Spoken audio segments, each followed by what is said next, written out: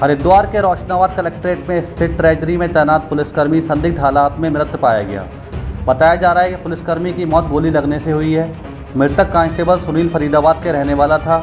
सुनील की मौत से पुलिस महकमे में शोक की लहर है। पुलिस के आला अधिकारी मौके पर मामले की जाँच कर रहे हैं। मौके पर पहुँची एसपी सिटी कमलेश उपाध्याय ने बताया कि मौत का कारण अभी पता नहीं चल पाया है। जाँच के बाद ही पता चल पाएगा कि मौत का क्या कारण था। घटना क्या है पूरा मामला?